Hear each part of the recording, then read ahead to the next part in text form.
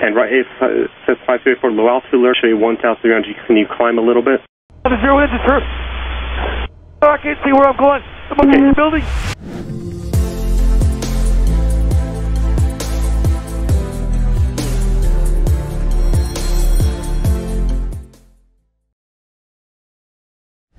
What's up, guys, and welcome to ATC Point of View. If you are new to the channel, my name is Lex, and thanks for joining me.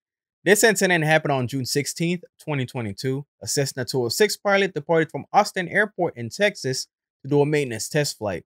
But shortly after taking off, he started to experience some kind of mechanical issue. So he declared an emergency and tried to make it back to the airport. So let's check it out. Number 554, runway one left, line up for weight, traffic, Sky, 5 mile final. Very good, sir. Just make sure our numbers are correct. Stationair 52854, line from weight 18 left, echo. That's Stationair A2554 now. Correction, sir. 52854. 8 Tower, Southwest 2652, uh, visual 18 right.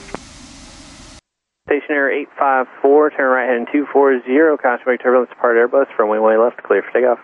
Very good, sir. 8240 bridge, watch the wake. 854 is on the roll, 18 left. Tower 2100, Tango X-ray, hold short, 18 left, ready to go. Southwest 2652, on time, runway one right, quarter lane. 18 right, clear to land, Southwest 2652. Air 52854, Austin. Station Stationair 52854, contact departure 119.0 if you're still up. Stationair 854, contact departure 119.0. Air 52854, Austin. 854, go ahead, sir. Yeah, 52854 didn't hear checked on, but uh, maintain VFR, altitude discretion, proceed on course, Rusty Allen. 854, resident, sir. We'll be heading to uh, uh, 40 X-ray Sierra here temporarily. 854. Okay, then uh, here, proceed to direct the breakaway. 854. Center 24 Alpha Foxtrot, contact Houston Center 134.2. 134.2, 24 Alpha shot. United 571, turn right direct payday. Right turn, direct payday, United 571. Austin approach, Austin approach. Stationair 854, uh, Mayday, Mayday, Mayday. I can smoke in the cockpit. Request direct to Austin Bergstrom Airport. Uh, 52854, okay, you need to make an emergency landing here at Austin. 854 affirmative. Okay, uh, 854, then uh, turn, if you're able to, turn right heading of uh, 080. Five turn zero zero eight five four. Departure 219, Tango X-ray, uh, 1800 for uh, 3500, 210. Uh, 219 or Tango X-ray, Austin departure radar contact. 52854, are you able to give me fuel and salt on board? Eight five four. I have uh, almost zero visibility. One person on board, and three uh, and two hours of of fuel board. Okay, 854, I'm showing you at 1,600. Are you able to climb a little bit just for the altitude? And I'm sending you up for runway 18 right. All right, sir. I'm heading uh, zero six zero right now. I can barely see inside this cockpit, and uh, and uh, when you want me heading zero zero. Okay, if you can barely see, that's fine. Just uh, stay, uh, keep your wings level and just fly your present heading right now. Eight five four. Okay, so yeah, we got side windows open now. My visibility's improved. I don't know what's going on here, but I got a real problem. American 533, contact Houston Center 134.2. 34-2, American uh, 533. Eight five four. Got really high engine uh, temperature, really high oil temperature this time, sir. Okay, the airport is right now is 1 o'clock and about 4 miles. You have, are you able to see it inside at all? Eight five four. We're looking, for, Uh, not quite yet. Okay, right now your altitude looks like it's pretty good. The uh, minimum vectoring altitude in the area is about 2,005, which is continue your heading right now, and I'll have I'll point out the airport to you in just a moment. You're about four miles from the airport. Five four. Sir, a little bit of visibility now. We're looking. 219 or Tango X-ray, climb your discretion, proceed on course. Uh, altitude, my discretion on course, 9 Tango X-ray. 52854, if you want to continue the heading, I'll turn you over onto final if, you, if you're unable to see Eight five four. Sir, I got a major emergency into this quick. Wow. Abort, abort my way. 52854, okay, um, are you're still unable to see anything out your window? Negative, sir. Okay, roger that. And right, it says 52854, low altitude show you 1,300. Can you climb a little bit? Zero engine, sir. Oh, I can't see where I'm going. I'm okay in the building. 52854, there's the interstate highway is just, uh, just off your left side, a little bit off to your left, about 11 o'clock. Are you able to see the interstate highway? I'm gonna have to get in the water here, sir. 354, uh, I'm showing, is there any way you can start climbing?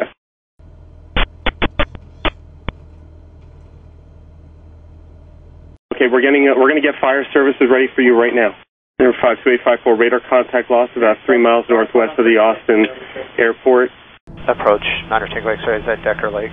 Nine takes the aircraft just went down at, uh, looks like Lady Bird Lake, about three miles northwest of the airport. We're on route.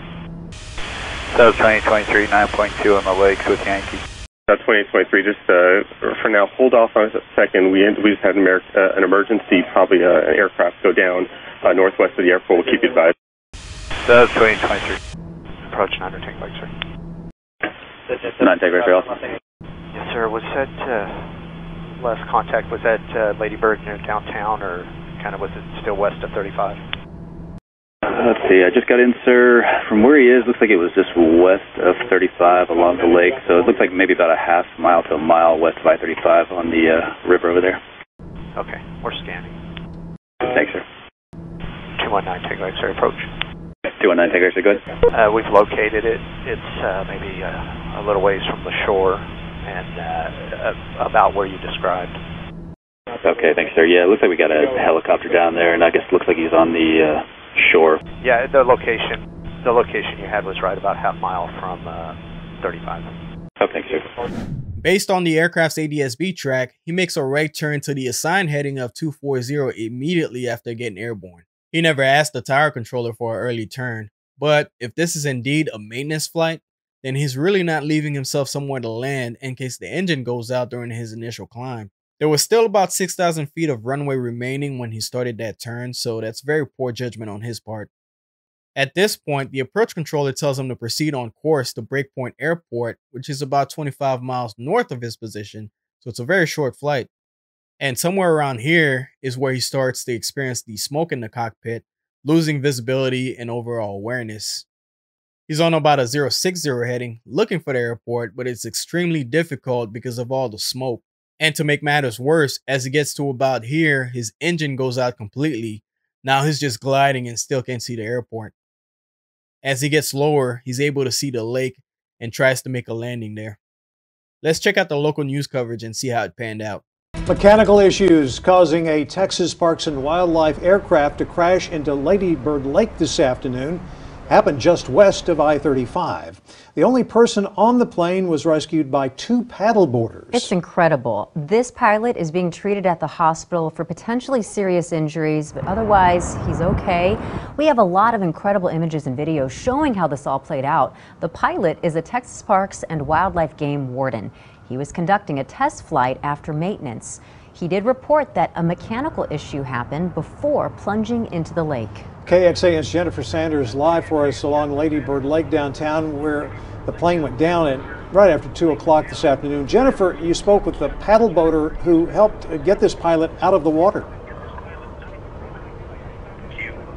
And that's right, Robert. I just finished speaking to Nicholas Compton. Now, he gave me a full account of everything that happened, but before that, he did ask me, is that pilot okay? That was the first thing he wanted to know. Now, before I get to his account, I want to take you out and show you what's happening right now. You can see that crews are trying to get that plane that's still there in the water. They'll be here for several hours. Still no timeline yet on when exactly that plane will be taken out of the water. Now, let's get to Nicholas's account account. He told me that he heard a crash this afternoon and he assumed that it was something that happened on the highway. But then he said a paddleboarder told him that a plane had crashed into the lake. And that's when he rushed out there with a life jacket and he encountered the pilot. He said that pilot was in distress. He was panting heavily. There was limited conversation with them because he just wanted to get that pilot to safety. So he said there was also some smoke coming from the plane as well. He immediately put the life jacket on the pilot,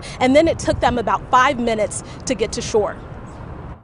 I was expecting to see something much worse than a man still alive floating.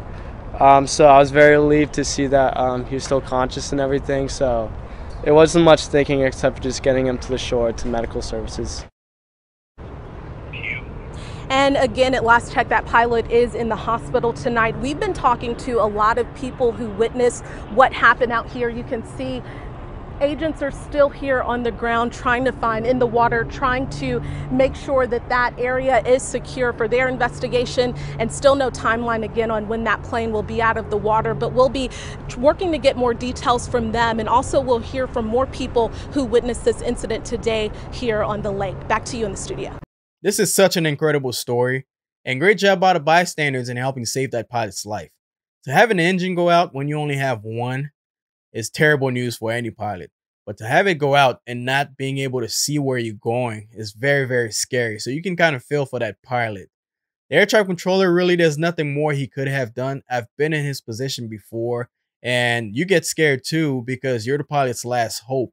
And regardless of what happens, if it ends terribly, you're always going to blame yourself, even though you provided the best service that you, you could at that time.